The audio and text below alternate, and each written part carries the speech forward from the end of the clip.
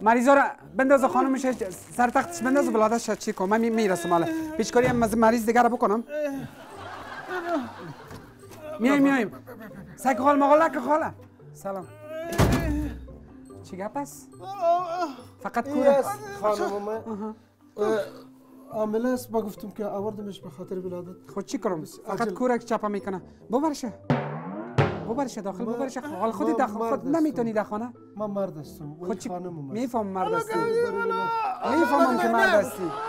من دیوانه نیستم تشخیص این ندم خوار داره. خودت برداری وظیفه ما نیست. من خود مریض دارم وظیفه نرس است در شفاخانه نرس اینو اول خود اول خودت در خانه میره می‌تونی می‌تونستی به تنهایی کمک کنی من ولادت کنه.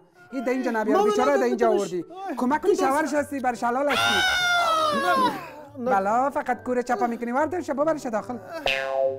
کورو چپا می‌کنه خود. شما چی می‌کنی؟ وظیفه چی است تو یک زن هستی از دل یک زن تو درد نمیری داری تو درد بی داری. تربیه.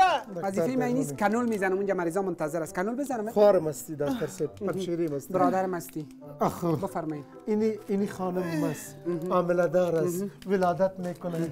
باید ببریش که ولادت کنه. ببرش وردار. درد کی می‌کشه درد ما می‌کشم زیب و زینت خانم است داستان زندگی تا قدمه قصه نکن کاکا جان. وردار شب ببر خانمت از وردار شب وظیفه من نیست. علی خور داشتن به کار وردار چرا سیگو می‌کنی؟ دکتر صاحب قربان چوم دکتر صاحب کار شماست.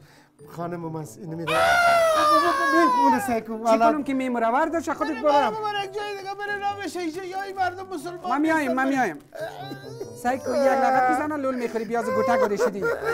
کاکا گوته گوری شده یک لغت بزن کاکا کاکا خیلی چی بگویم؟ بره بیا. میایم بگو بیا باش بنداج باز نمیشه. دکتر.